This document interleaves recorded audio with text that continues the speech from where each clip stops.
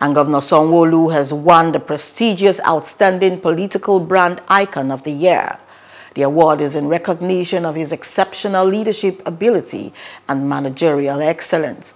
The award was presented to the governor at the 8th Marketing Stakeholders Summit held in Lagos. Plus TV Africa's State House correspondent Love Ikuku Oyedokun reports.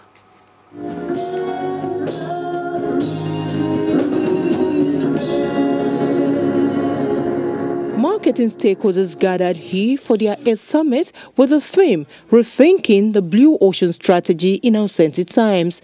It's a celebration of craft and achievements of marketing professionals with industry practitioners across the country in attendance. Award presentations to deserving citizens also takes a highlight. The organizers believe that the recipients are change agents promoting future fit businesses in the new normal. Congratulations uh, to the awardees tonight. I have no doubt that you deserve your awards, that's why you are here. You are at the table because you, pay, you paid your dues. All I can say is that I wish you all the very best. Lagos State Chief Marketer, Governor Babajide Sanwo-Olu, is one of the deserving awardees. Distinguished ladies and gentlemen, he's being honored today as the outstanding political brand icon of the year.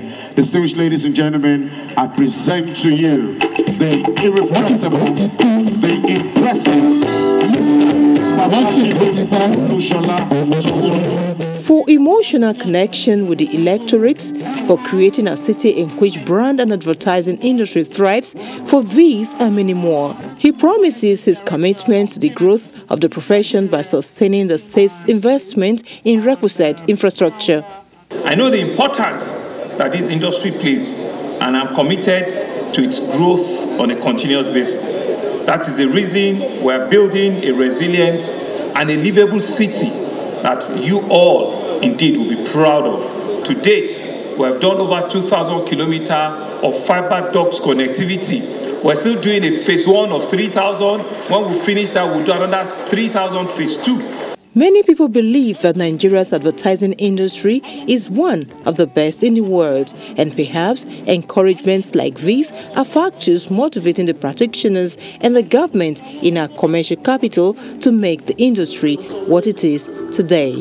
From Lagos, Love Ikuku Oyedoku, reporting for Plus TV Africa.